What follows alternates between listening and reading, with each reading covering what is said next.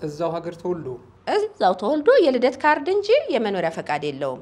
በኋላ ነው ስህተቱን ያወቀው። ለምን እኔ ኢትዮጵያዊ ነኝ፣ እሱ ግብፃዊ ነው።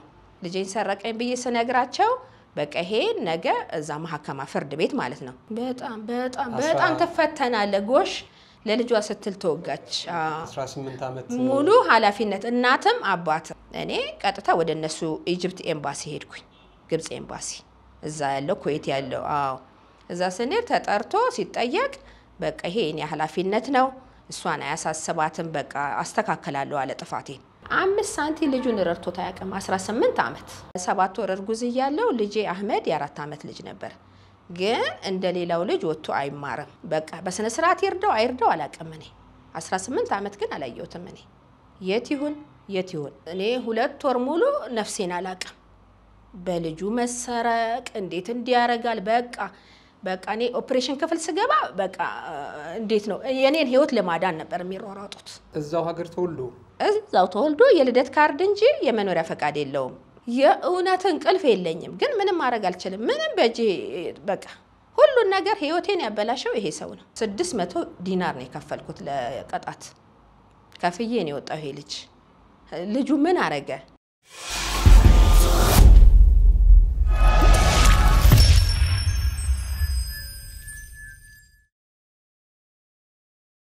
እንኳን ደህና መጣሽ። እንኳን ደህና ቆያችሁ።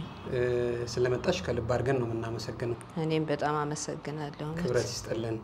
እ፣ ስራ ፈቃድ ወስደሽ ነው በስራ ቀን እሱን ሁሉ ተነጋግረን ነበረ።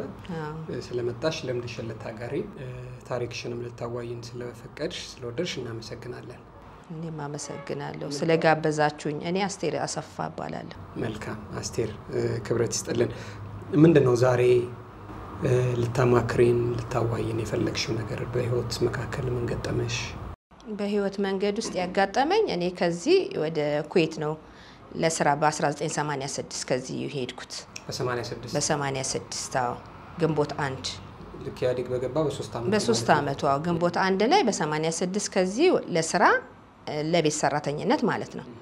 ከዚህ ወጣሁኝ። ግን ሰው ቤት ያው ወደ ሶስት አመት ከሰራው በኋላ የውጭ ስራ አጋጠመኝ። ውጭ ቢሮ ውስጥ ማለት ነው። እዛ እዛ የጓደኛ የውጭ ስል- ትሰራ ስለነበረ በእሷ ምክንያት ስራ አገኘው። ስራ ሳገኝ ያው እዛ መስሪያ ቤት ውስጥ የምሰራው ምንድን ነው ጽዳትና እንግዶች ሲመጡ ሻይ ቡና ማስተናገድ፣ ያው የቢሮ ባለቤት በሌለበት ሰዓት በወቅቱ ቆንጆ ስራ ነው። ቆንጆ ስራ ነው። ያው ከቤት ከሚከፈል ትንሽ ጭማሪ ያለው ቢሮ ውስጥ መሆኑ ደግሞ ቢሮ ውስጥ መሆኑ ያው የስራ ብዛትም የለብህም። ግን እንደዛም ሆኖ ገቢህና ውጪህ አይመጣጠንም። ያው ቤት ኪራይ ያለ ከልጅቷ ጋር ነው የምኖረው ስራ ካስገባች ልጅ ጋር በስንት ዓመትሽ ነው የሄድሽው? ቤተሰብ ለመርዳት ነው? እዚህ መስራት አልፈለግሽም? አዎ፣ ቤተሰብ ለመርዳት ነው። ስንት ዓመትሽ ነበር ስትሄጂ? 23 23 አዎ አ፣ ትምህርት 12 ክፍል ጨርሰሽ አዎ፣ 12 እንደጨረስ ማትሪክ ወስጄ ሪዛልት ወስጄ ነው የሄድኩት። እሺ፣ ከዛ ቢሮ ተቀጠርሽ? ቢሮ ተቀጠርኩ እና ያው ወጪና ገቢ ስላልተመጣጠ ቤት ይሻለኛል ብዬ ያን ሀሳብ እንትን ስል ለቢሮ ባለቤት ወይ ደሞዝ ጨምርልኝ ወይ ደግሞ በቃ እኔ ስራውን ላቆም ነው፣ ያው የድሮ ህይወት ይሻላል ወጪ ስለበዛ ማለት ነው። ከዛ እንደሱ ስለ ምንድነው ችግርሽ? ያው ደሞዝም እንደሚጨምርና በትራንስፖርት በኩል አንድ ሰው እንደሚረዳኝ ከቢሮ አንዱ ወደ ስራ ስመጣና ስመለስ ማለት ነው በዛ በዛው ያንን ወጪ እንዳታወጪ እሱ ያደርስሻል ሲል ይሄን ባለቤቴን ተዋወቅኩት። በዚያ? ባለቤቴ ነው የሚወስደኝም የሚመልሰኝም። ሹፌሩ ማለት ነው። እኔ እና እሱ ግን እንዲረዳኝ ነበር እንትን ያለው። እኔ እና እሱ ወደ እንትን ውስጥ ገባና ስራውን እንድታቆሚና እኔ እሱ እንደሚረዳኝ ቃል ገባልኝ። ፍቅር ጀመራችሁ? ከዛ እሱ የቤት ኪራይ እየከፈለ ከዛ በኋላ ወደ ትዳር ገባን ማለት ነው። በፍርድ ቤት በህጋዊ ይሄ የትዳር ወረቀቴ ነው እና ከዛ በኋላ ከእሱ ጋር ስኖር የመጀመሪያ ልጄን ይሄን አህመድን ወለድኩ። አህመድን ወልጄ በሁለት ሺህ በፈረንጅ ሁለት ሺህ ጁላይ ሁለት ሺህ አህመድን ወለድኩኝ። በእኛ ስንት ማለት ነው? ከሀያ ሁለት ዓመት በፊት ማለት ነው። ይሄ አህመድ ነው። ይሄ አህመድ እሱ የእሱ የልደት ካርድ ነው የአህመድ የመጀመሪያ ልጅ ያው በሁለት ሺህ እሱን ወለድኩኝ። ወልጄ ልክ አራት ዓመት ሲሆነው እኔ ሁለተኛ ልጄ እኔ ሰባት ወር እርጉዝ ነበርኩ። እስከዛ ሰዓት ድረስ አንቺ ሰላም ነኝ። የቤት እመቤት ነኝ። ስራ አትሰሪም ብሎኛል። ከዛ ቢሮ ቀረው። በቃ የቤት እመቤት ሆንኩኝ። ልጄን ማሳደግ ነው ስራዬ። ሴት ልጅ ካገባች ስራዋ ቤቷና ልጆቿ ናቸው ነው የሚለው እሱ። ባህላቸውም እንደዛ እነሱ እንደሱ ናቸው። እንደው ቆይ ወደ ጉዳዩ እንመጣለን። እንግዲህ ብዙ ጊዜ ስንሰማ አረቦች ይንቃሉ ይባላል የኢትዮጵያውያንን እንደገና ደግሞ እነዚህ ፊሊፒንስ ፊሊፒን እነሱን ምናምን እና የእናንተ በፍቅር ነው ስትጋቡ ቤተሰብ አስተዋውቋል። ምንም አይነት ችግር አልተከሰተበትም። እንዴት ሌላ ዜጋ ታገባለህ የሚል ነገር አልተነሳበትም። ወንድሞቹ አሉ። በቃ የወየ ወንድሞቹ ያው እኔ ኢትዮጵያዊ ነኝ፣ እሱ ግብፃዊ ነው። ያው ልጆች ነው ላይ እሱ? ግብፃዊ ነው። እንጂ የዛ ሀገር ዜጋ አይደለም ግብፃዊ ነው። እና ያው ልጆች ላይ ችግር እንዳለው ያው ለሱ ይሉታል። እኔ ግን በቃ የነገን እግዚአብሔር ነው የሚያውቀው እያልኩ ነው የምኖረው። ያው በልጆች በኩል እንደማንለያይ ለምን ልጆች የሁለታቸው የእግዚአብሔር ስጦታ ናቸው። እውነት ነው። አዎ ከዛ እኔ እና እሱ ከተስማማን ይሄም ኢትዮጵያ ውስጥም ሀገራቸው ነው። እዛም ቢሄዱ በፍቅር ከሆነ እኔ ቅር አይለኝም። እና የሰባት ወር እርጉዝ እያለው ልጄ አህመድ የአራት ዓመት ልጅ ነበር። ግን እንደ ሌላው ልጅ ወጥቶ አይማርም። አራት ዓመት ሆኖት ማለት ነው። የመኖሪያ ፈቃድ አላሰራለትም። ይቃማ ማለት ነው። እዛው ሀገር ተወልዶ እዛው ተወልዶ የልደት ካርድ እንጂ የመኖሪያ ፈቃድ የለውም። ትምህርት ቤት መግባት አልቻለም። የተለየ ነው እንግዲህ አብዛኞቹ ሀገራት እዛ ሀገር ከተወለደ እንግዲህ ዜግነት የሚገኝባቸው ብዙ አይነት መንገዶች አሉ አይደለም? ዜግነት አይሰጥህም ከእነሱ እዛ ሀገር። መካከል እንግዲህ እዛ ሀገር ላይ መወለድ ነው።? ዜግነት አይሰጥም ኩዌት ውስጥ አይሰጥም። አይሰጥም። ግን የመኖሪያ ፈቃድ ማሰራት ይችል ነበር። እኔ በሀያ ነው የወጣሁት ከዚህ ሀገር በቤት ሰራተኝነት። የኔን የመኖሪያ ፈቃድ አስተካክሎ ለልጁ ማድረግ ይችል ነበረ። ከዛ እሱ ግን አራት ዓመት እስኪሆን አላረገለትም። ትምህርት ቤት በመሄጃው ሰዓት ልጁ ይሄድ አይደለም እና እኔ እና እሱ በዚህ ጉዳይ እንጋጫለን።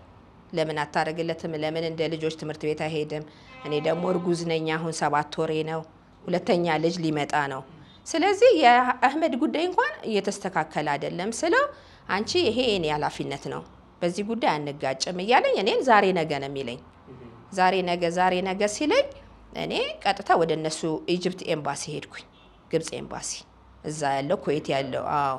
እዛ ስንሄድ ተጠርቶ ሲጠየቅ በቃ ይሄ የኔ ኃላፊነት ነው፣ እሷን አያሳስባትም፣ በቃ አስተካከላለሁ አለ ጥፋቴን ጥፋቴን አስተካከላለሁ፣ በዚህ ነገር አንጋጭም ብሎ እሱንም በቃ እንደሚያስተካከል አስፈረሙት። እኔንም አስፈረሙኝ። በቃ እንዳንጣላ በዚህ ጉዳይ። በዚህ መሀል እያለን እኔ እንትን አልኩኝ። በቃ ወሬ እየተቃረበ መጣ፣ ልወልድ ማለት ነው። እሱ አንድ ቀን ልጁን ይዞት ወጥቶ ቀረብኝ። እስከ ማታ ድረስ ስልክ ስደውል አያነሳም። እስከ ማታ ምንም ስልክ አይመልስልኝም። እንዴ ልቤ ፈራ። መሸ፣ በጊዜ አልመጡም። ምን አደጋ ተፈጠረ? በቃ እኔ ሀሳቤ ያ ነው።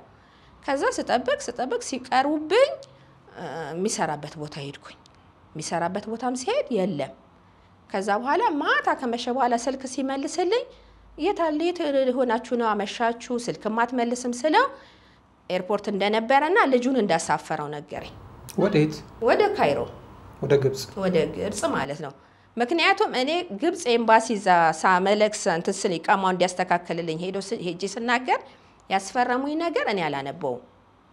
በዛ ወረቀት ብቻ ሰው ረድቶት process ኡን ጨርሶ አሳፈረው ልጁን። እኔ በማላቀው መንገድ የፈረምሽበትን ወረቀት አረብኛ አታነቢም? አላነብም ዝም ብለሽ ነው የፈረምሽው? አላነብም ምንም ነገር አላነብም። አዎ። ቋንቋቸው ሰውየው በስነ ስርዓት ነው የነገረኝ። ያው ችግራችን እንደሚፈታ እንደ ሽማግሌ ሆኖ ማለት ነው እዛ ካይሮ ኤምባሲ ስለዚህ ሰውየውም ምናልባት ከእሱ ጋር ተሻጥረው ይሆናል። ግን ያም ሆነ እኔ እንትን ሲል አሳፈርኩት ሲለኝ ዝም አላልኩ። ቀጥታ ወደ ፖሊስ ጣቢያ ነው የሄድኩት።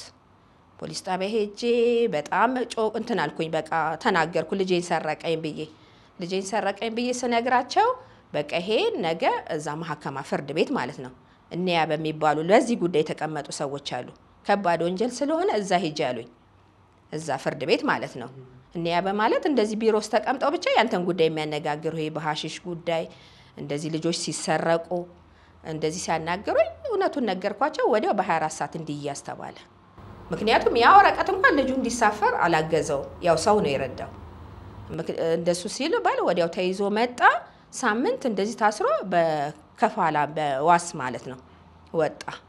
ወጣ ከእስር ቤት። እኔም ደግሞ ልጄ በእጁ ስለሆነ እሱን መለማመጥ ጀመርኩ።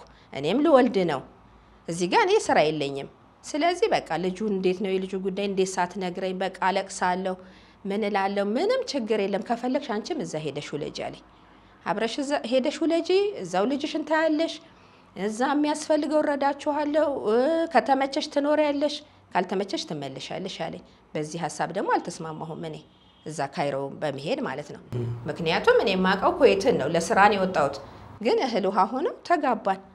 በዚህ መሀል እሱ ይህን ችግር ፈጠረ በልጁ ላይ። እንደገና እንዴት አምኜ ነው ሰው ሀገር የሚሄደው ካይሮ ማለት ነው። በቃ እዛው ኩዌት ወለድኩኝ። ልጄ ህፃን ስለነበረ በቃ እግር እስኪያወጣ ከእሱ ጋር መኖር ጀመርኩ። መኖር ጀምሬ ልክ ልጄ ስድስት ዓመት ሲሆነው ፍቺ ጠየቅኩን ሄጄ ፍርድ ቤት። እንደዛ ስድስት ዓመት እስኪሆነው እንኳን ክረምት ላይ አላመጣውም ልጁ በስልክም በምንም አታገኘውም። ምንም አያገናኝህም። ስትጠይቂው ምንድን ነው የሚለው? ስጠይቀው በቃ ክረምት ይመጣል ነው የሚለኝ። አንቺ ደግሞ ማየት ከፈለግሽ ሂጂ ነው የሚለኝ። ሂጂ ሁሉን ነገር ላስተካክልላችሁ ነው የሚለኝ። ስድስት ዓመት ሙሉ ልጄ ኢቃማ የለውም። ሁለተኛው ልጄ ሁለተኛውም የለውም። ሁለተኛውም የለውም። ያለ ኢቃማ የትምህርት ሰዓቱ አለፈበት የሱ። በቃ ሁሌ ለቅሶ ነው። እኔ እ መሳፈር አልችልም እኔ ልጄን ጥዬ ወደ ሀገሬ። ምክንያቱም እሱ መሳፈር አይችልም፣ ኢቃማ የለውም። ልጄ ስድስት ዓመት ሆኖት ህፃኑ ትምህርት ቤትም መግባት አይችልም። ከሀገሩ ወደ መውጣትም አትችልም። ስለዚህ ምንም እጣ ፈንታ የለውም። እስረኛ ሆነ። እኔም እሱ እኔም መምጣት እየቻልኩ መምጣት አልችልም። ለልጄ ብዬ ቁጭ አልኩ። እኔም ከዛ ስድስት ዓመት ሲሆነው ጀዋዛት ይሄ ኢሚግሬሽን ማለት ነው። ኢሚግሬሽን ሄጄ ሁሉን ነገር ጨርሼ ከዛ በኋላ ፍቺ ጠየቅኩ። መጀመሪያ ተፋታው ከእሱ ጋር ጨረስኩ። ይሄን የትዳር ወረቀት በቃ ተፋታን። ከተፋታን በኋላ ልጁን babysitting አስቀምጬ ለምን እንትን ውስጥ ከተተው እሱ ቅጣት ውስጥ ስድስት መቶ ዲናር ኩዌቲ በሁለተኛ ልጁ ሁለተኛ ልጁንም በቃ ቅጣት ውስጥ ከተተው። ስድስት መቶ ዲናር ነው ከፍሎ የሚወጣው። እኔ ግን ስፋታ ልጁ የስድስት ዓመት ልጅ ስለሆነ እናት ናት አሳዳጊ ተብሎ ለእኔ ተሰጠኝ። ቆይ ግልጽ እንድናደርግ ይሄ 600 ኬ ዲናር ዲናር ማለት ነው የተቀጣው ይሄ ለዚህ ለሁለተኛው ልጅ ስድስት ዓመት እስኪሞላው ቅያማ ባለማስወጣቱና አስፈላጊው ነገር እንዳያገኝ በማ- በማድረጉ ነው። አዎ፣ ተቀጣ ልጁ። ልጁን የተቀጣው ልጁ ነው እኮ የተቀጣው። ልጁ መሳፈር አይችልም። እኔ አሁን ተፋታው። ልጁ ሀኩም ሀዳና ይባላል። ሌል እናትነት አሳዳጊ ነች ተብሎ ለእኔ ሲሰጠኝ እንዴት ልሳፈር? ልጁ ቀራማ ውስጥ ገብቷል። ያ ቀራማ ደግሞ እንዲሳፈር ስድስት መቶ ዲናር መክፈል አለብህ፣ ሁለት ሺህ ዶላር ማለት ነው። እኔ አሁን ያንን እንትን ለመሸፈን እንትን ሰራው፣ ሳሎን ገብቼ ልጁን babysitting አስቀምጬ ህጻናቶች ማሳድ እዛ የሚጠብቁ አሉ። ቀን ስራ ሲሄድ እሰጣቸዋለሁ፣ ስመለስ እቀበላለሁ ልጁን። ሳሎን ማለት የ- የጸጉር ቤት የሴቶች የሴ- አዎ። ለምን? ያን ዕዳ ከፍዬ ለመውጣት የልጁ። አባትየው አልከፍልም ማለት ምንም ነገር በቃ እኔ ሀኩም ሀዳና ለእሷ ተሰጥቷታል ምንም ነገር ተፋተናል ስለ ልጁም ለምንድን ነው እሱ እንደዚህ ያደረገው ሁለተኛ እሱንም ሊያሳፍረው ወደ ሀገሩ ማለት ነው ግን አንድ ቤት ነው የምትኖሩት? እንደዛ? አይደለም ተፋተናል officially ተፋተናል ህጋዊ ፍቺ ህጋዊ ፍቺ ቀደዳችሁ ሰሞኑን። ይሄም እዚህ ያለ ፍቺም ይሄም ህጋዊ ፍቺ ነው። ይሄ ፍቺ ነው። ይሄ የተ- የተጋባሁበት ነው። ይሄ የተፋታሁበት ነው። ይሄ የተፋታሁበት ነው። የኩዌት ማለት ነው። ተፋትቼ እኔ ልጄን ይዤ ነው የምኖረው። ፎቶ ላይ ሁሉንም ታየዋለህ። ከዛ በኋላ እንደዛ ስኖር ያው ልጄ ስድስት ዓመት ልጅ ሆነ። ቀራማውን ከፍዬ ወደ ሀገር የገባው ልጄ የገባው በዚህ እንትን ነው። ይኸውልህ በይለፍ ወረቀት በይለፍ ወረቀት ነው የገባው ልጁ ስድስት ዓመት ሲሆነው ይኸው 2010 ነው የመጣው። 2004 ነው የተወለደው። 2010 ላይ ነው አዎ ወደ ኢትዮጵያ የገባው በእኛ ሚያ- 2002 ላይ አንድ እሱ ያው እሱ ላይ ተጽፏል። ከኤምባሲ ተመቶለት 600 ዲናር ቀራማ ከፍዬ ከራሴ ትኬታችንን አስተካክዬ አገሬ ይዤው ገባሁኝ። ከዛ ለልጁ ስድስት ወር ለምን አማርኛ አይችልም፣ ምግብ አይበላም፣ እንጀራ አያውቅም፣ ሩዝ ነው እዛ። ሁሉን ነገር ስድስት ወር ሙሉ አብሬው ቁጭ ብዬ ምክንያቱም ሰው አይቀርብም፣ ቋንቋ አይችልም አማርኛ። ከዛ ስድስት ወር አብሬው ተቀምጬ ተመልሼ ሄድኩኝ እኔ። እናቴ ጋር አስቀምጬው ትምህርት ቤት አስገብቼው። ተመልሼ ለምን? ልጄን እዚህ ጋር ኃላፊነት አለብኝ እዚህ ጋር እዚህ ደግሞ የሚያስተምረው የለም። እዚህም ያስተምረው የለም። ሌላ ምንም ገቢ እናቴ ናት እናቴ አቅመ ደካማ ናት። እኔ ተመልሼ ሄጄ እየሰራው ለቤተሰብ እልካለሁ። እየላኩ ልጄ መማር ጀመረ። ልጄ ሲማር በቃ እኔ ወደ ስንት ዓመት አልቆየሁም ብዙ ተመልሼ የመጣሁ እኔ። ለምን ልጄም አልተስማማውም እዚህ። እኔም ደግሞ ስመጣ ሲሄድ ስመጣ ሲሄድ በየአመቱ ልጁን ሳይ በቃ ምንም ከወጪ ሌላ ትርፍ የለኝም። እንደዚህ ትለፋለህ እንጂ ደከምኩ። በቃ ከዛ አርፌ እዚሁ ሀገሬ ቁጭ ብዬ ልጄን ማሳደግ ጀመርኩ። ስንት ዓመት ሲሆነው ጠቅልለሽ ገባሽ? ልጄ አስር አራት ዓመት ነው የሰራሁት ከሱ ተለይቼ አራት ዓመት ሰራሽ? ሰርቼ ጠቅልዬ ገባሁ። በቃ ጠቅልዬ ገባሁ። እስካሁን አብረን እየኖርን ነው ከልጄ ጋር ይሄ ሁለተኛውን ልጅሽን ኢዘዲንን እዘዲና ኢዘዲንን እዚህ ካመጣሽ በኋላ ተመልሰሽ ሄደሽ አራት ዓመት ሰርቼ ስትሰሪ ከአልሰኢድ አዎ አልሰኢድ ጋር ተገናኝታችሁ ታውቃላችሁ? ስልክ እኔ ለዛኛው ልጄ እያልኩ እየደወልኩለት እስካሁን እደውልለት ነበር። እስካሁን እስካሁን አዎ እስካሁን እየደወልኩ ጠይቀዋለሁ። ለምን እሱም ምን ሆነ እግዚአብሔር ሲቀጣው ቼክ ቼክ ይሄ ቼክ ፈርሞ ደረቅ ቼክ ማለት ነው። ከዛ እንትን ሲሄዱ ባንክ ሂሳብ የለውም አጭበርብሮ ማለት ነው። ከዛ ታሰረ። ስድስት ወር ታስሮ ወደ ሀገሩ አሳፈሩት። እኔ እዚህ ሆኜ እዚህ ሆኜ አዎ። ለምን ለልጁ ይሄው 18 ዓመት ልጁ ሞላው ዘዴን አምስት ሳንቲ ረድቶት አያውቅም። አምስት ሳንቲ ይሄ ሁለተኛው ልጅ 18 ሆነው አሁን 18 ዓመቱ አዎ። ስለዚህ በ2004 ነው የተወለደው። የተወለደው ስለዚህ ትልቁ ትልቁ ስንት ሆነ ማለት ነው? 22 22 ዓመት ማለት ነው። 22 18 ዓመት ግን አላየሁትም እኔ በአራት ዓመቱ ነው የሄደው ከኩዌት የተሳፈረው። 18 ዓመት ሙሉ አላየሽውም። ድምፁንም ሰምቼው አላውቅም። ድምፁን መልኩ ይመጣብሻል። የእውነት እንቅልፍ የለኝም፣ ግን ምንም ማድረግ አልችልም። ምንም በእጄ በቃ ሁሉን ነገር ህይወቴን ያበላሸው ይሄ ሰው ነው። ለእኔ ብቻ አይደለም የልጆቹንም ሰው ልጁን እንዴት እንዲህ ያደርጋል? እንዴት አንተ ሰው ሀገር ላይ ማን ላይ ጥሎ እንሄደው? በዚህ ላይ ደግሞ ቀራማ ውስጥ ከቶት ሁለት ሺህ ዶላር ተከፍሎ የወጣው ልጁ እዘዲን ማለት ነው። ስራም እንዳልሰራ እስረኛ አረገኝ። ልጁም እንዳይሳፈር አረገው። በቃ ቀራማ ውስጥ ከተተው። ምንም ኃላፊነት የማይወጣ አባት ማለት ነው። ብዙ አባት እንዲህ ልጅ ይመኛል አይደለ እንዴ? ልጅ ላታገኝ ትችላለህ። ልጅ የእግዚአብሔር ስጦታ ነው። እሱ ግን ቆንጆ ቆንጆ ልጆች ሰጥቶት ማሳደግ አይችልም። በቃ የራሱን ጥቅም ብቻ የሚያስበው ይሰራል፣ ያገኛል፣ ራሱን ቤተሰቡን ብቻ ወደ ሀገሩ ነው የሚልከው። አይረዳሽም። የእውነቴን ነው የምልህ። እኔን አይደለም ልጆቹን ስጋዎቹን አይረዳም። ያንን አሳፈ- አሳፈረው። በቃ በስነ ስርዓት ይርዳው አይርዳው አላውቅም። እኔ 18 ዓመት ግን አላየሁትም። እኔ የት ይሁን የት ይሁን በቃ እንደተሳፈረ ብቻ ነው የማውቀው። ተያዘ፣ ተጠየቀ። እኔ አባት ነኝ እዛ እያስተማርኩት ነው አለ። ፍርድ ቤትም ስፋታ ልጄን ሰርቆኛል። ምክንያትሽ ስባል ለምን ትፋቻለሽ ስባል ልጄን ሰርቆኛል ከእሱ ጋር መኖር አልችልም። ምክንያቱም ልጅህን ሰረቀ ማለት እንግዲህ ከዚህ በላይ ምንድን ነው የሚያደርገኝ? ምን ምክንያት ላቅርብ? ከዚህ በላይ እኔ አብሬው መኖር አልችልም። ይህንንም እንትን ውስጥ ከተተው ቀራማ ውስጥ ማለት ነው ቅጣት ውስጥ ስድስት መቶ ዲናር ነው የከፈልኩት ለቅጣት ከፍዬ ነው የወጣው ይሄ ልጅ። ልጁ ምን አረገ?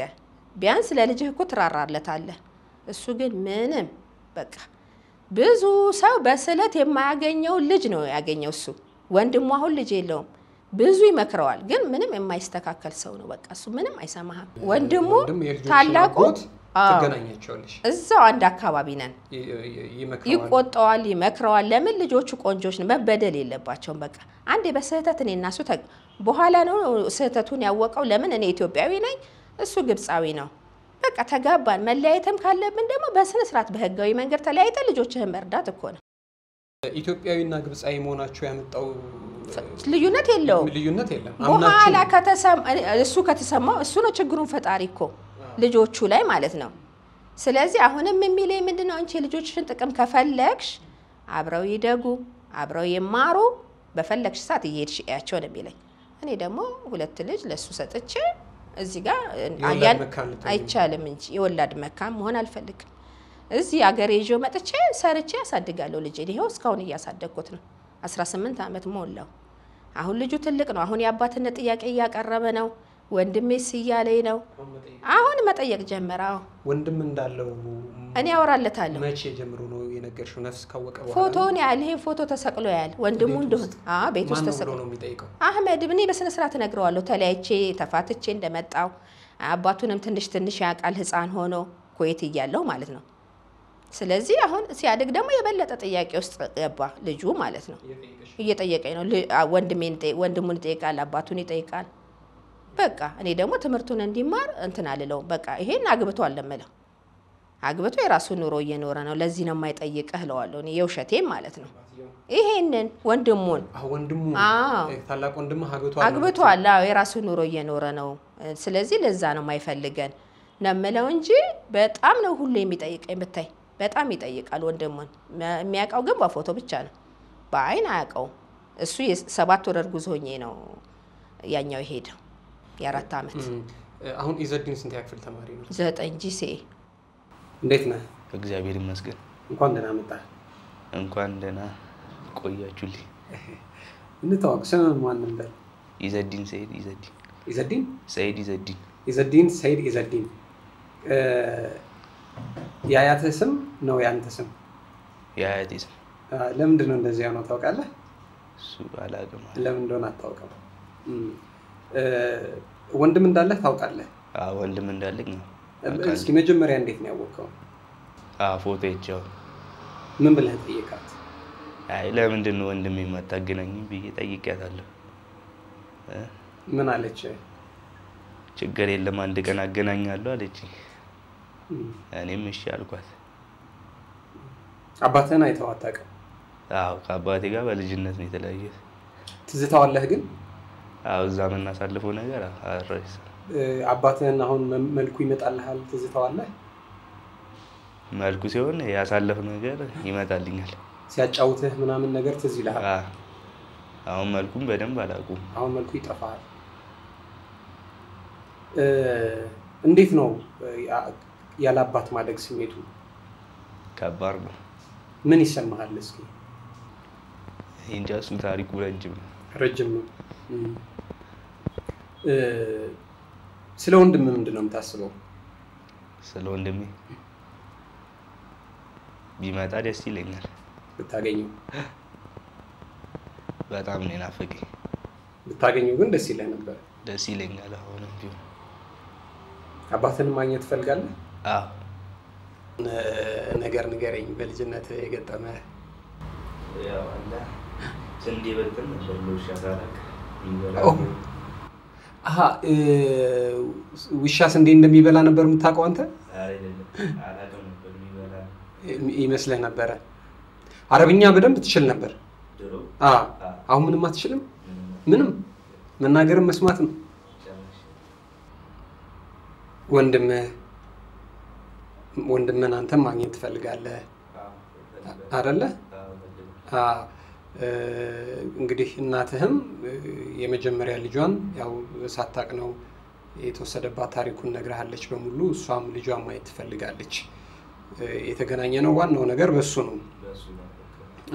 ስለዚህ አሁን አንተ ለአባትህም ለወንድምህም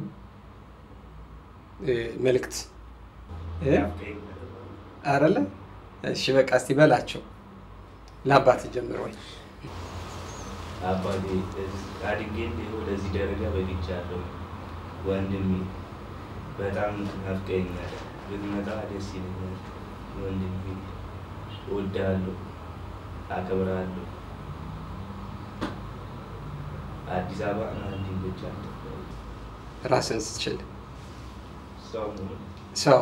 ሰው መሆን እንዴት ነው እስቲ ንገረኝ። ያለንን በመካፈል ሊሆን ይችላል። ስንት ዓመትህ ነው አሁን? ስንት ያክፍል ነህ? ዘጠኝ ምንድን ነው ማድረግ የምትወደው ነገር? እ? ምንድን ነው በጣም የምትወደው ነገር እኮ? ለምሳሌ ከሚያዝናኑ ነገሮች ስለመጣህ እናመሰግናለን። ክብረ ይስጠለን። እሺ ኩዌት ሆነሽ ማግባትሽን መውለድሽን ለዚህ ለቤተሰብ ነግረሽ ነበር? ነገር ያለው አዎ ምንም አላሉም? በጣም ደስ አላቸው በማግባቴ በመውለዴ። ለምን ስለ ቤተሰብ እየረዳ እድሜ ይሄዳል። እዛ ሆነ ማለት ብዙ ጓደኞቼ ልጅ ያጡ አሉ። ጠቅልለው ሲገቡ በቃ ልጅ የለም። እኔ ግን እግዚአብሔር ይመስገን ከአንድም ሁለት ልጅ እግዚአብሔር ሰጥቶኛል። እሱን ነው ማለት የፈለግኩት። እኔ ገንዘብ ባይኖረኝም ልጆች አሉኝ። ከገንዘብ ከወርቅ ከሁሉ ነገር እኔ ዛሬ ስቱዲዮ እንኳን የለኝም፣ ኮንዶሚኒየም እንኳን በቃ። ምንም አይነት ቤት የለኝም። ወላጆቼ ጋር ነኝ፣ ቤተሰብ ላይ ኩሽና፣ የድሮ የጭስ ኩሽና የማይጠቀሙበትን እሱን ሰጥተውን አጽድተን፣ በጣም ትንሽ ናት። ግን ከልጄ ጋር እየኖርኩ ነው። እግዚአብሔር ይመስገን። ከዛ በኋላ ትዳር የለም። በቃ አረ እኔ በቃ በሱ እንትን አየሁኝ። በቃ እድል አንድ ናት። በሱ ያልተመቸ ሌላ ሀሳቡም የለኝም። እኔ ሀሳቤ ልጄን ትልቅ ቦታ ማድረስ ብቻ። የሚገርም ታሪክ ነው። በጣም በጣም በጣም ትፈተናለ። ጎሽ ለልጇ ስትል ተወጋች። አዎ። 18 ዓመት ሙሉ ኃላፊነት እናትም አባትም አለማየትም ግድ የለሽም። እዚህ ያለው ኃላፊነት አገሬ ላይ ነው ያለሁት። ይዘዲን ቀላል ነው በጣም ቀላል ነው ማለቴ ቀላል አልነበረም፣ ግን አሁን አድጓል። አድጓል። አይ ቀላል ነው አባባሌ ከምን አንጻር መሰለሽ ኢዘዲን አለ ስርሽ ነው እናትሽ አሉ አይደለም አዎ። በሀያት እጅም አንቺ ብትወጪ ታግዘኛለች። ትታገዣለሽ። የመጀመሪያ ልጅሽን እሱ በጣም ያሳዝናል።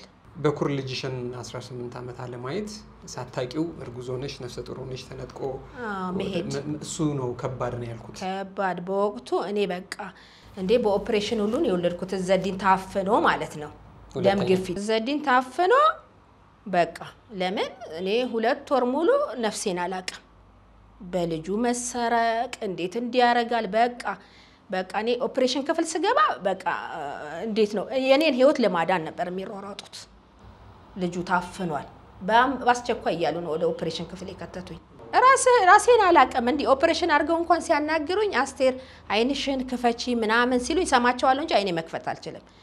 ከኦፕሬሽን በኋላ ማለት ነው። ምክንያቱም በጣም ከባድ ነበረ በወቅቱ ልጁ ታፍኖ ልጁን ለማዳን እኔን ለማዳን የሚሮጡት ሩጫ ልጁ ታፍኖ ነበር። ዝም ብለሽ ስታስቢ አሁን የመጀመሪያ ልጅሽ በምን አይነት ሁኔታ ላይ ያለ ይመስልሻል? እንግዲህ እናትነት ከባድ ነው። ግን ደግሞ ልጅሽ የትም ቦታ ቢሆን የብዙ ወላጆችን ታሪክ ስንሰማም ስናይም በልጅና በወላጅ መካከል የሆነ ይሄ ነው ተብሎ የማይነገር ግንኙነት አለ ወይ? ልጄ ደግሞ ምን ሊሆን ይሆን ዛሬ ይህን ያየሁት። ህልም አዎ ህልምት ያለሽ አንዳንድ ነገር አንዳንዴ እንዲሆኑ አለ አይደለም? ስሜት አለ። በልጅና በእናት መካከል አይደል? በያሉበት ሆነው የማይነገር የሆነ ኃይል አለ። ስለ ልጅሽ ስታስቢ ምንድን ነው የሚሰማሽ? በምን አይነት ሁኔታ ላይ ሆኖ?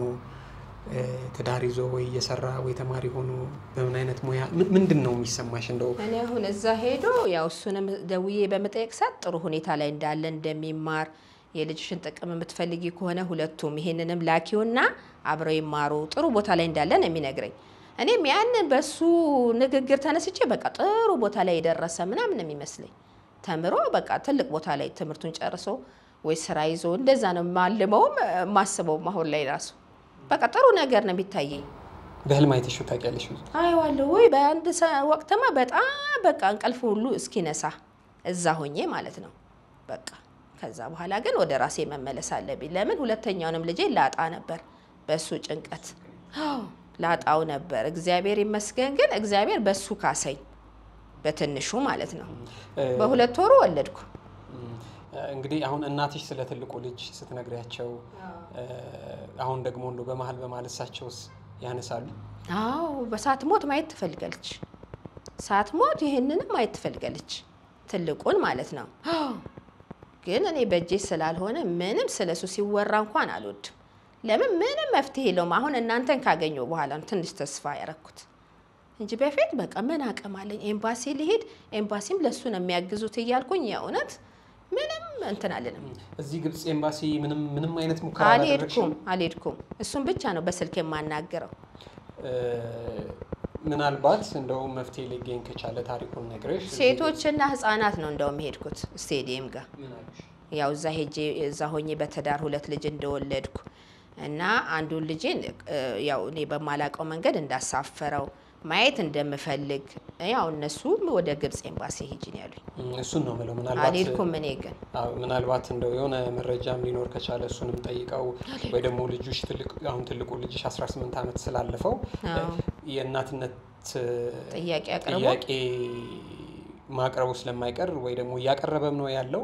ስለዚህ እሱም ጥያቄ ሊኖረው ስለሚችል አድራሻውን ሊያገኙት ይችላሉ። የአባትየው መታወቂያ ያለሽ፣ ፓስፖርት ኮፒ አለኝ። ፓስፖርት ኮፒ አለሽ፣ ስም ከነ አያት አለሽ እና ዝም ብለሽ እንደው እዛ ሄደሽ የአልሰኢድ የዘዲን ልጅ ከሌ ከሌ የሚባል ምናምን ብለሽ ብትጠይቂ ሊገኝ ይችል ይሆናል ብዬ አስባለሁ። ወይ የሆነ ፍንጭ ይሰጡሻል ወይ እሱን ያናግሩታል።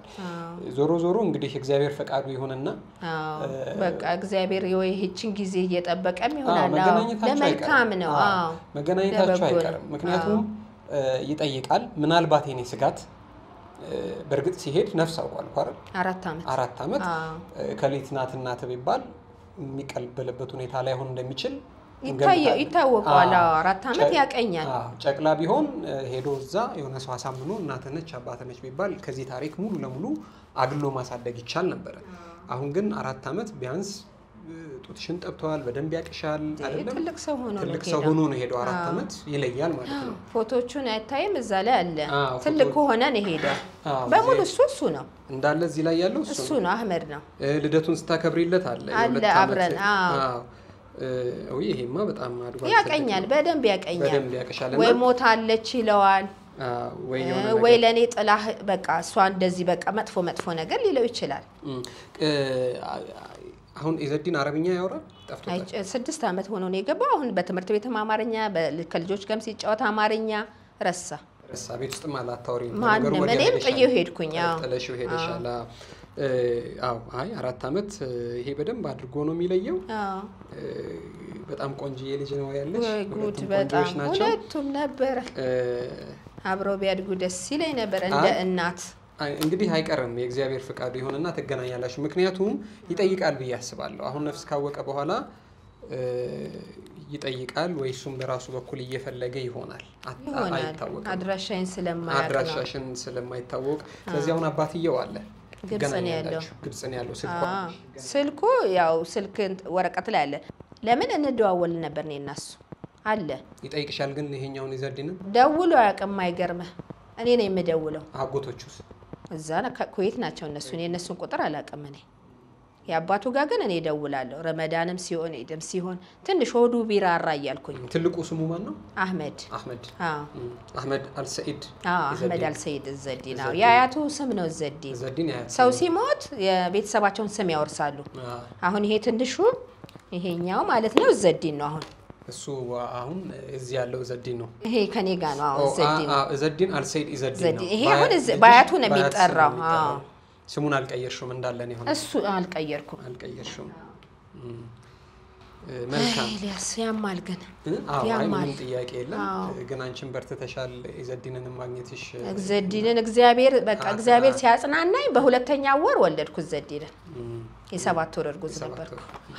እግዚአብሔር ይፍቀድና ደግሞ የሆነ ፍንጭ ሲሰማ ሲገኝ መልሰን ልናገኘው እንሞክራለን። እሱም በእርግጥ የሚያርፍ አይመስለኝም። ፌስቡክ ምናምን አሁን ያሁን ወደፊት ቴክኖሎጂ ያገኘዋል።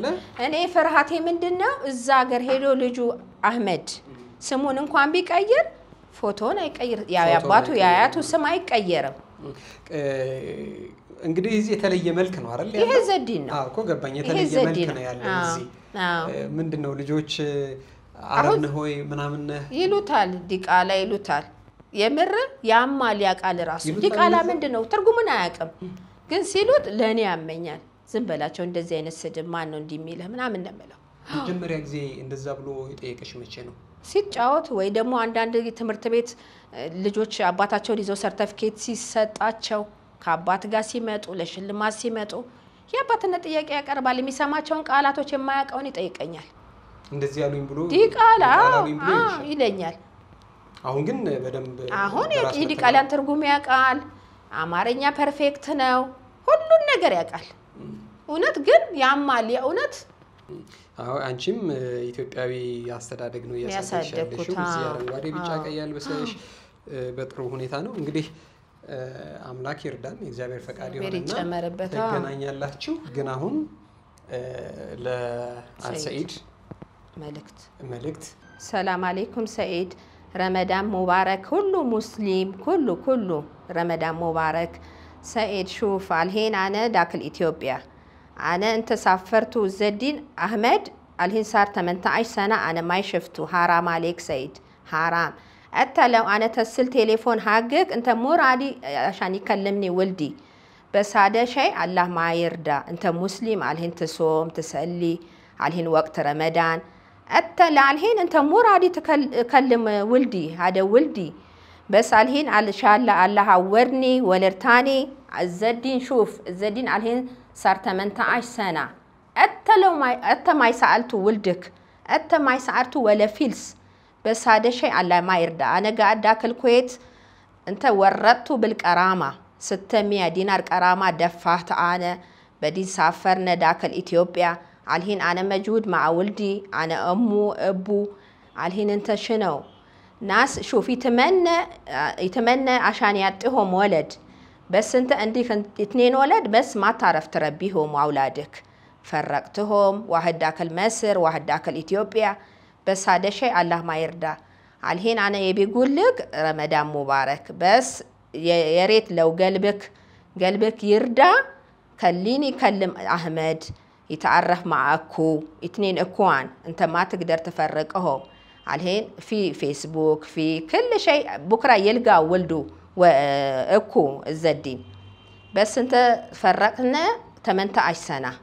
عشان كذي بس خليني نتكلم خليني اثنين يتلاقون اثنين اكوان بعدين انت ابوهم أنا امهم عشان يبي يشوف ولدي أحمد. الله يرضى عليك. شكرا. بعد هناك ذاك مصر في مسلمين في إثيوبيين. ساعدوني ساعدوني. أنا عايش ذاك الإثيوبيا. صار لي تسع سنة أنا يجي بالكويت. زدين ولد في معاي. أنا اربيهم ولدي بس ما في هذا أبو سيد ما في يساعدني ولا فلس. ولا فلس. حتى تليفون ما يسال ولده. عشان كذي دوروا لي ولدي. أي مكان لو تشوفونا ከሉኒ ይከልምኒ አነ። ሽክረን ማይገሰር ለሁሉም ለካይሮ ላሉ ሙስሊሞች ኢትዮጵያውያኖች ለልጄ ገና ለልጄ አላልኩም። ለልጄ ደግሞ ልበላ። በደንብ አድርገሽ ንገሪው። ልበል። ሰላም አሌይኩም አህመድ። አህመድ ውልዲ እንተ አይሽ ብልቃሂራ አነ እሙክ አነ ጋዕድ አክል ኢትዮጵያ። በስንተ ሳፈርት ኡምርክ አርባ ሰና። አልሄን ኡምርክ ኢትኔኑ እሽሪን ሰና። አነ ተመንተአይ ሰና ማይሸፍትክ ወለ ማይሰማት ሶትክ። ሌሽ አደ ሐረምኒ እቡክ እቡክ ሰይድ። በስ አልሄን እንተ ለው ትደውርኒ ታቅደር ትሐስልኒ ብል ረቀም ቴሌፎኒ። ረቀም ቴሌፎኒ ስፍር ትስዓ ሰባ ሰባ ሰባ ስተ አርባስተ አርባ ስፍር። አላ ከሊክ ለው ተሰማት አደ ሚዲያ ዶሩሪ ድጋሌ። ዶሩሪ አነ እሙክ ፊ እኩክ ባዕድ ዘዲን ዑምሩ አልሂን ኦ ዘዲን ተመንታ አይሰና። ያኒ እትኔን እኩዋን በስ እቡክ ፈረቀ እትኔን እኩዋን እንተ ለው ትሹፍ አደ ሚዲያ ድጋሌን ትግደር ትሐስል እኩክ ትግደር ትከልምኒ አነ አነ እሙክ። አላይ ከሊክ በስ እትመነ ትድጋሌኝ OK شكرا። ማንም ሰው እኔን ደውሎ ማግኘት ከፈለገ 09 77 76 46 40 እ አህመድንም እዛ ካይሮ ውስጥ ያላችሁ ኢትዮጵያውያኖች ካያችሁት እንደ እናት ሆናችሁ የኔ ቁስል ተሰምቷችሁ እንደምንም ብላችሁ ከኔ ጋር እንድታገናኙኝና እንድትረዱኝ በእግዚአብሔር ስም እማጸናለሁ። አመሰግናለሁ። ክብረት ይስጥልን። እኔም በጣም ነው የማመሰግነው ኤልያስ። ደስ ያለ የእውነትን በቃ ካናገርኩ በኋላ የሆነ ተስፋ ተጫረብኝ። አገኘዋለሁ። ለምን ብዙ እናቶች ሲገናኙ አየሁኝ። እስካሁን እንትን የለኝም ነበር ዋይፋይ። ያንን ካስገባሁ ጀምሮ መከታተል ጀመርኩና እውነታውን እያየሁ ነው። በቃ እውነትን ይዤ ነው ወደ እናንተ ጋር የደወልኩት። ብዙ ሰው እያየሁኝ በቃ ተገናኝተዋል። የእኔ ደግሞ ቅርብ ናት ካይሮ ነች። ቅርብ ናት። የእውነት እኔ እሱ እንደሚለው ክረምት ሲዘጋ ነይ ከሚለኝ ልጁ ቢመጣ ራሱ ይዞት ቢመጣ አደለ እንዴ? እኔ ሴት ነኝ አደለ እንዴ? እዚህ ጋር እኔም የራሴ ኃላፊነት እዚህ ጋር አለ። አቅም ሊያንሰኝ ይችላል። እንደው ቢፈቅድና ባልፈራ እንኳን መሄድ በቃ ብዙ ነገር የጎደለህ ነገር ሊኖር ይችላል። አምስት ሳንቲ ልጁን ረድቶት አያውቅም። 18 ዓመት ኢትዮጵያ ከ- ውስጥ። ከአባይ ጋር ተያይዞ እንግዲህ ኢትዮጵያውያን ወደ ግብጽ ሊሄዱ ሲሉ በጣም ብዙ ምርመራ፣ ብዙ ፈተና እንዳለባቸውም በብዙ መልኩ እንደሚጠረጠሩም ሰምተናል። ምናልባት ከባድ ሊሆን ይችላል። ከባድም ይሆናል። እዛም ስገባ በእነሱ አገር ህግ ነው የሚጸናው። ልጅህን ሊነጥቅህ ይችላል። አባት ነው ይሄ እዚህ ያለው ህግ የእኛ ህግ ነው። እዛ ያለው ህግ የእነሱ ህግ ነው። ያን ፍራቻ አለ እኔ ጋ አዎ። መሄድ አልፈልግም። መሄድ አልፈልግሽ። መልካም ነው እንግዲህ ትልቁ የመጀመሪያው ልጅሽ 22 ዓመት ሆኖታል እ፣ ምናልባት ጊዜ ይወስድ ይሆናል ወይም አገዱ ያስፈጅ ይሆን ይሆናል እንጂ መገናኘታቸው አይቀርም። እግዚአብሔር ይስጥልኝ። እናትሽም አያቱም ያዩታል፣ ትገናኛላችሁ፣ ደስ ይለኛል። ስትላለች ሳልሞት ባየው ትላለች። ይታያሉ፣ በፎቶ ነው የምታውቀው። ይገናኛሉ። እግዚአብሔር ፈቃድ ይሁን በደንብ ይገናኛሉ። ወንድማማቾች ይገናኛሉ። እግዚአብሔር ይጨመርበት ኤልያስ። ይሄ አማርኛ ያስተምረዋል፣ ይሄ አረብኛ ያስተምረዋል። እኔ ራሴ ክረምት ላይ እያሰብኩ ነው ቢገናኙ እንኳን ላስተምረው ይሄን ልጅ እያልኩኝ እውነት ማስተማሩ ምንም ቋንቋ የትኛውም ቋንቋ እንግዲህ ቋንቋ ወንዝ- ያሻግራል እንል የለ? አዎ። ቋንቋ ማስተማር አለብሽ። በዚህ በ እንግዲህ በአባይ ጉዳይ እንኳን ከግብጽ ጋር በነበረን ከሱዳን ጋር በነበረን እሰጥ አገባ በዲፕሎማሲ እነሱ የበለጡን በቋንቋ ነው። በጣም ብዙ አረብኛ መናገር የሚችሉ ኢትዮጵያውያን እያሉ እነሱ ያልያዙትን እውነት ባስጮሁት ልክ እኛ እውነታችንን ማስጮህ አልቻልንም ነበረ።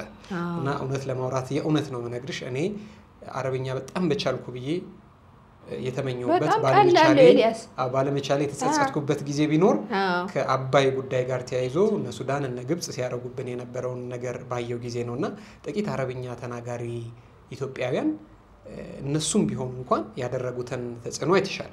ስለዚህ ኢዘዲንን አስተምሪው። ምክንያቱም ነገ ከነገ ማነስ ነው እስካሁን። ቤት ውስጥ ቤት ውስጥ የተወሰነ ቋንቋ ብታስተምሪው ከዛ ነገ ከነገ ወዲያ ቢያገኘው በሆነ አጋጣሚ ቢያገኘው በምን ይግባባሉ? ገብቶሻል። ስለዚህ እሱንም አስተምሪው እንዳልኩሽ ነው። እግዚአብሔር ይፍቀድ። እንግዲህ ሁሉ ነገር እሱ ባለው ሰዓት አይደለም እግዚአብሔር በፈቀደ እኛ እንሞ- እንሞክራለን። እሱ በፈቀደ ሰዓት ያገናኛቸዋል። እንዳልሽው እናትሽ አያቱ ቢያገኙት ቢመጣ ከወንድሙ ጋር ቢገናኝ እኛም ደግሞ ብናገኘው ደስ ቢለን ኢንፎ ቤተሰቦችም ሁላችንም አንድ ቀን የደስታ ቀን ይሆናል። ይሆናል ማን ያውቃል።? ስለዚህ በጣም ጎበዝ ነሽ። ዶክመንቶቻቸውን በሙሉ በሙሉ ኮፒ በደንብ አድርገሽ ይዘሻል። እንግዲህ ግድ ግብጽ ያሉ አንተ አሁን ይሄንን ፓስፖርቱ ላይ ያለውን ፎቶቸውን የሁለቱንም የሁለቱንም ይሄን ፎቶ እሱ እናነሳለን። አዎ ስለመጣሽ በጣም አድርገን ነው የምናመሰግነው። እኔ ራሴ በጣም ነው የማመሰግነው። የእውነት ኤልያስ በጣም ደስተኛ ነኝ አሁን በቃ አሁን ከዚህ በኋላ ስለ አህመድ በቃ እርግጠኛ ነኝ በእጄ እንደሚገባ። ጸሎት ብቻ ለእግዚአብሔር። አዎ